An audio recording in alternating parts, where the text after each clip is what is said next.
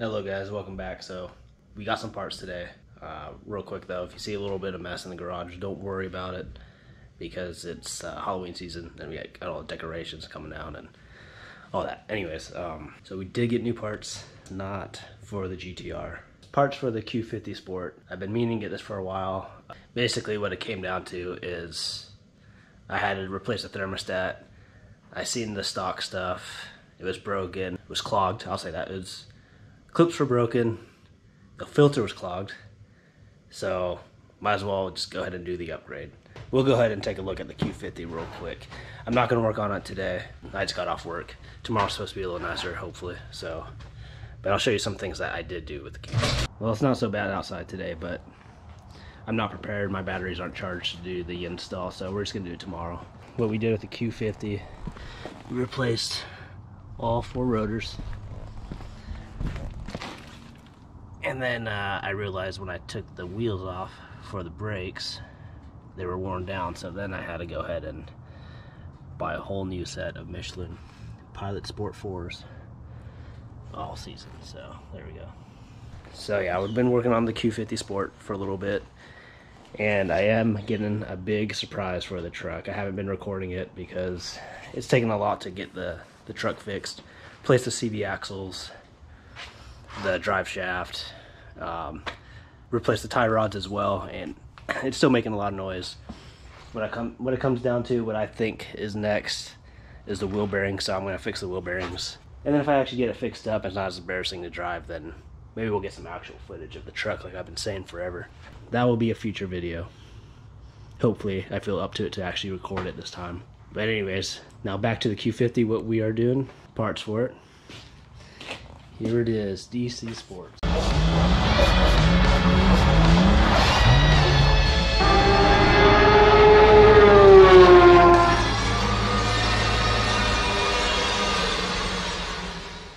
So basically, I worked on the Q50 when I had the 32. We did a full carbon fiber delete, or we did a full chrome delete and replaced most of it with carbon fiber. The parts that didn't come in carbon fiber, I just wrapped black. We did an exhaust and then wheels, and, and then I kind of stopped. But now that I got to do some more some wear and tear repairs, might as well upgrade it as we do that, especially because the price point. So this isn't the most expensive or probably the best intake system you can get for the 3.7, but the price was good. The short ram's not cold air, but it will look a little better. And honestly, I think it would be better than the OEM stuff. I don't know, but visually it'll look better, so might as well, right? So anyways, yep, we're going with the DC Sports. Now, as I said before, it's not the best one you could get. It's not the cheapest, but I recognize the name, especially from the original Need for Speed Underground stuff. But it's still like 200 bucks cheaper than the AEM intake, so I just went ahead and, and went for it. All one hand. So, short ram intake installation instructions. It should be honestly straightforward. Got some nice uh, hose clamps here. And man, whenever I open this stuff, I always forget what the heck these things are called. I'm just totally brain farting. Now I remember because I looked at the directions. Couplers. We got some nice couplers. DC Sport logos on it. I've seen some stickers right, yeah, right here. Um, you probably got to put that on the intake itself, so if that's the case, I'll throw them on after we the full install. Good quality. Now, I did just get HKS on the GTR. They're probably not to be as good, but definitely smaller, but, uh, I mean, just aluminum, very light. Looks nice, shiny. And this, I don't know if you can see inside the screw holes, but screws don't seem to be stripped out. We got the actual air filters. Got the air filters here. And you know, honestly, they're not cold air, but neither is the one on the GTR. It's a real similar style, so it definitely will be good enough for what we're looking for. It's the next day, installation day. It was supposed to be really nice today, but uh, it was kind of nastier today. It's gonna be nicer tomorrow, but I just want to get started. so, One thing I do need to fix is the struts. They don't hold anymore. So we're just gonna have to put a little brace on. That's my uh, little prop stick there. So I'm probably only gonna show or explain one side. It's pretty self-explanatory with uh, everything else that I do, but first off, we're gonna go ahead and take this little air air dam thing off. And what you're gonna do is you're gonna take a screwdriver and pop each each one of these things off, and it comes right out. Really easy. I've taken these things off so many times that some of them are broke,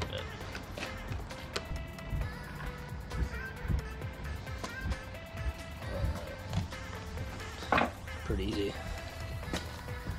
Don't mind the mess in the engine bay. I do got clean the car, but we're getting in the winter now. As you can see, the filters are quite a bit dirty. I was gonna replace them when I replaced the thermostat in here, but uh, I was getting the filters anyways because they're not lining up. These clips are broke. This one you can see it's open. So just for this, we're just gonna go ahead and replace the whole thing. We're gonna go ahead and just unclip it now. Off there. I'm kind of just winging this too. I mean, it's pretty, it's pretty easy. I'm not, I'm not reading the, the directions right now because it's an intake. So, unclip that.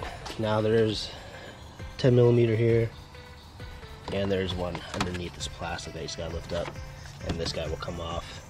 I went ahead and plugged off the sensor, unplugged the sensor, and we're just gonna take a screwdriver to pop this clip right here out and then of course just undo all this all the hose clamps man I can't get the camera up and we're gonna unclip this hose and right here and it should just pop off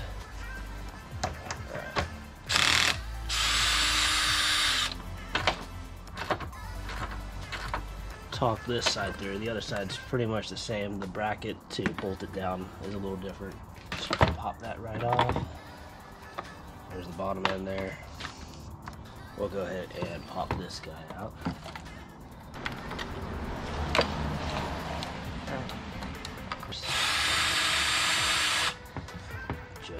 Just like.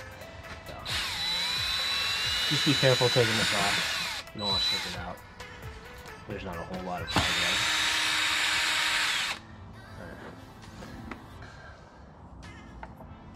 And there we go. We'll be careful with this guy. So I'm just gonna lay it right here. Exactly in the same uh, same way it should fit right in. Oh, this guy should pop right off. Bottom piece.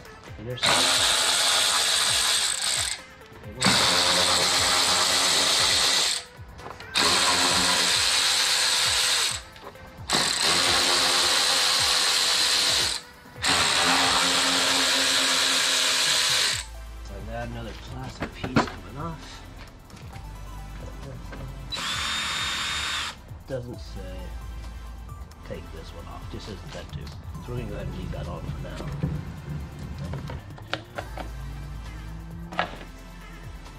Driver side has a straight weld bracket, which is this long right here.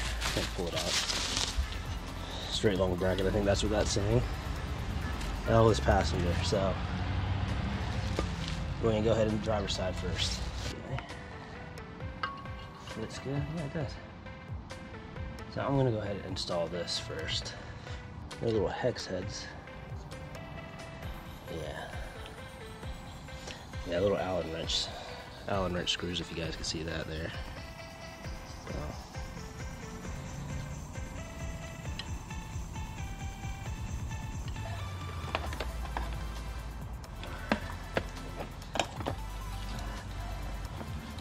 Gonna go ahead and take this bracket off real quick, guys.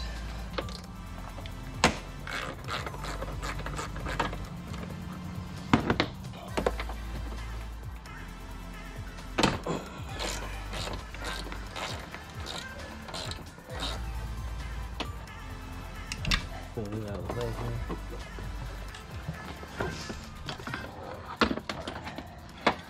Now we should get a clear shot. See this. supposed to.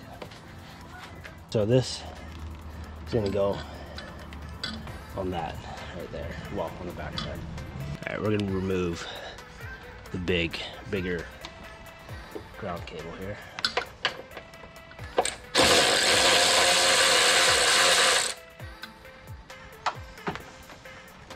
So that's what we're gonna do. We're gonna put the washer on here this time. So that way, we know it makes a great connection with the ground wire here. The washer.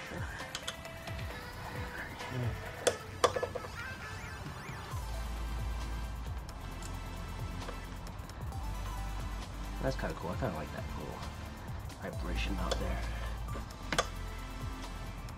Okay. Might not even clamp down good enough, but shall see.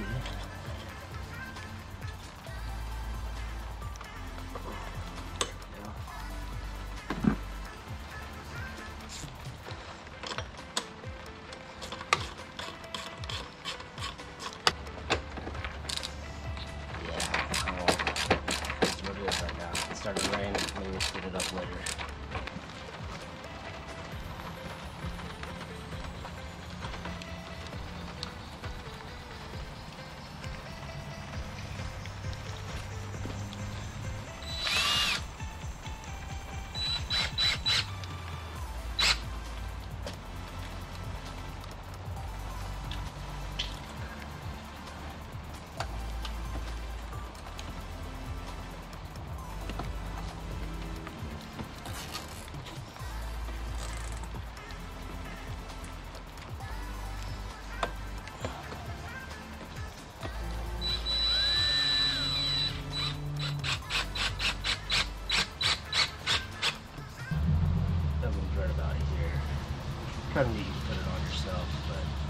Hopefully I put them in the same spot.